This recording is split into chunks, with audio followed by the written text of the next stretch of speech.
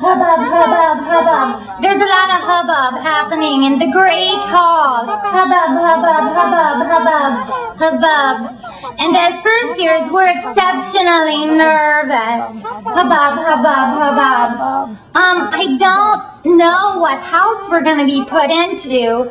That's what the sorting hat is for.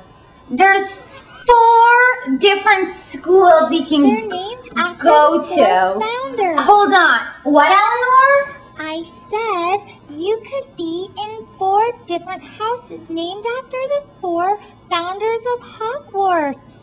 Gryffindor, Slytherin, Ravenclaw, or Hufflepuff. Right, right. That's exactly what I was just about to say. Um, but I'm glad that other people also contributed. Okay. Oh my gosh. Dumbledore's bringing out the sorting hat.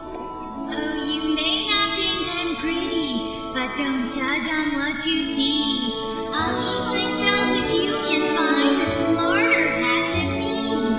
You can keep your bowlers black, your top hats neat and tall, but I'm the Hogwarts sorting hat, and I can cast them all. There's nothing hidden in your head the sorting hat can see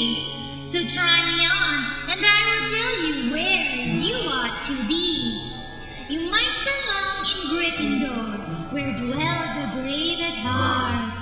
Their daring, nerve, and chivalry set Gryffindors apart. You might belong in Hufflepuff, where they're just and loyal. Those patient Hufflepuffs are true and unafraid